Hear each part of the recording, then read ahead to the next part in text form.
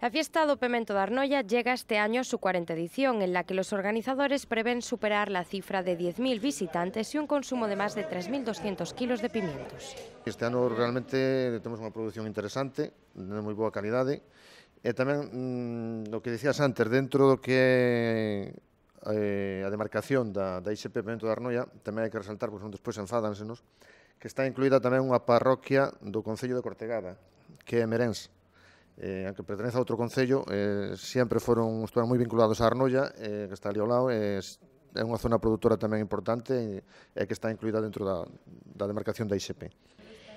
La novedad ha sido la creación de un licor de pimiento, pero estarán presentes, como no, muchas otras variantes como los pimientos asados, rellenos en tortilla, etc.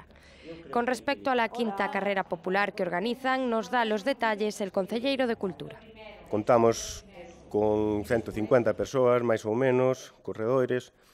Eh, é un circuito bastante complicado porque é de asfalto, é terra, e, e claro, a Arnoia é un valle e hai moito, moita costa, moita baixada, é bastante complicado, pero contamos ca xente que se, que se anime e que veña.